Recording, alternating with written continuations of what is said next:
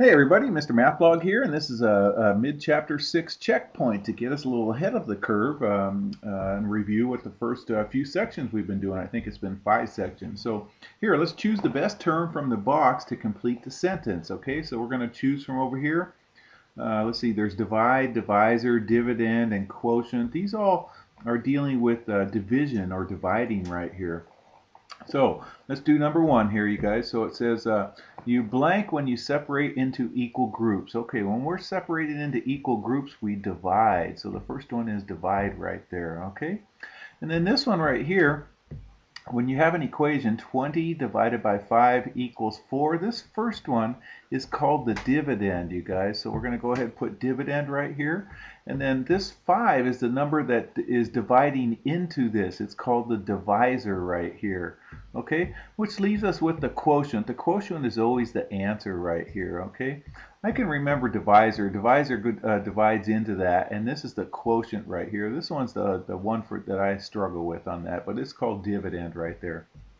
Okay, all right, so let's go ahead. Uh, we're going to use counters with circles of equal groups to complete the table. So here we go. We have these counters here. So let's go ahead and do number one. We have six counters with two equal groups. So here's six counters with two equal groups. So what we're going to do is go ahead and start placing uh, a counter in here, a counter in here, one at a time as we keep doing it. So now both those circles have uh, one counter. Let's go ahead and put another one in here and another one in here. So now they both have two counters right here. Let's go ahead and place one there and place one there. And so we have um, uh, all our counters are taken up. So the number in each group looks like there's three in there, there's three in there, so there's three counters in each of those groups right there. Okay, so number two says we have 30 counters. There's 30 counters. I counted those up, you guys. Those are 30 of them.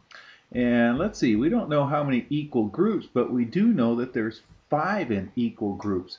So what I'm going to do is just go ahead and circle a group of five right here.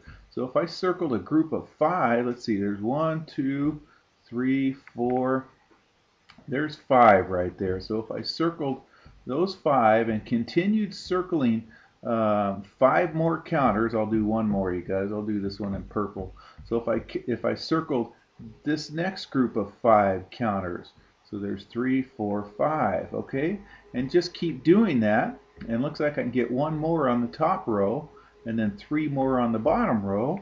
And it should look like that right there. Okay, so there, how many groups are there? There's six uh, equal groups right there. Okay, this next one says we have 28 counters with seven equal groups. So I'm going to go, there's 28 counters with seven equal groups right there. And then you just got to be patient with me uh, we're just going to start placing one counter in each of the equal groups uh, until we get all the counters taken up. Okay, so one counter, I got to be careful. Sometimes I want to put more than one until um, without making sure everybody has one. So, okay, now each um, each of these groups has one counter. So let's continue. Let's go put go ahead and put two right there. There's two in that one. Okay, two in that one, and that one. Oops, I'll take that one there. Whoops, too many. Sorry. One more, patient, and I'm going to keep going. Okay, so when I keep doing that, you guys, let me do this one right here. So I've taken that whole top row, or um, each of them has two of them in there, and that was half of the 28 counters. So if I put the rest of these in there, it's going to give us two more on each one of them right there. So it should look something like that right there. So how many of them are in each group right there? Well, it looks like all of them have four equal counters in it, so, so it would be four. Now, check this out. This would mean 28 divided by 7 equals 4. Or 30 divided by 6 equals 5. This one would have the equation 6 divided by 2 equals 3. Okay, so these are all division equations right here. All right, let's write a division equation for this picture. Okay, so first let's go ahead and count the number or the counters up. This one I see one counter, two, three, four, five, six, seven, eight. So this one looks like there are eight counters, and we're dividing it by by uh, four in each group right there. So eight divided by four gives us how many groups do we see right there? We see two groups. So Uh, how about this? 8 divided by 4 equals 2. Okay, let's go ahead and count the counters over here. 1, 2, 3, 4, 5, 6, 7, 8, 9, 10, 11, 12, 13, 14, 15. So this one's going to be 15 and then each group, it looks like each group has 5, so 15 divided by 5. And then how many groups do we have? We have 3 equal groups, so this would be 15 divided by 5 equals 3.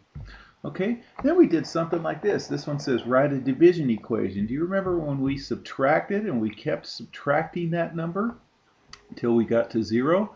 Here 36 minus 9 is 27. And then we picked up with the 27 and subtracted 9 again and got 18 picked up with the 18 and subtracted 9 again, and we got 9, and then finally 9 minus 9 is 0. So we started with this number, and we're subtracting this number. How many times did we subtract this number till we got to 0 right here? We subtracted it once, twice, three times, four times. So this would be 36 divided by 9 equals 4. Okay, that's another way. So we had a, a lesson that was called subtraction and division or something like that. I forgot. Okay, and then this one here, this was another subtraction one. We start with 21, and it looks like we're jumping by jumps of 3. So jumps of 3. So there's another jump of 3. How many jumps of 3 did we get? So it looks like one jump, two jump, three, four, five, six, seven, till we got to 0 right there. So this would be 21 divided by how big was your jump? It was 3, so 21 divided by 3 equals 7 right there, okay? All right, so let's try some problems here. Stephen has 14 cookies that he plans to give to friends. If he gives two cookies to each friend, how many friends will he give cookies to? Okay, so uh, I, am going to go do the number line again, you guys. So we start at 14 cookies right there. And if we just keep subtracting this amount, 2 every time, so we're going to do jumps of 2 till we get to 0. There's one jump of 2, took us to 12. There's another jump of 2, it took us to 10.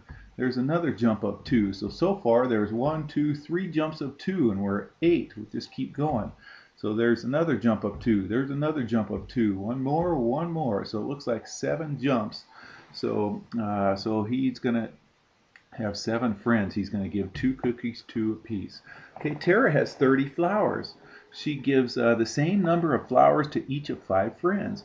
Uh, which equation can be used to find the number of flowers uh, each friend receives? Okay, this whole chapter is dealing with division, you guys, and since we're doing it into equal groups, so she gives the same number of flowers to each of five friends, this will be a division problem. So it's not this one, this one's an addition problem. It's not this one, it's not this one, it's this one right here. 30 divided by 5 equals, you guys know what it is? What it equals? It equals 6. But they just want to know which equation which would be true. It would be that bottom one there, okay? Here's another one. Rick modeled a division equation with some counters. Which division equation matches the model? Okay, well, we first got to count the counters, you guys. So looks like there's 1, 2, 3, 4, 5, 6, 7. 8, 9, 10, 11, 12, 13, 14. Okay, now all of these have divided by 2 right here.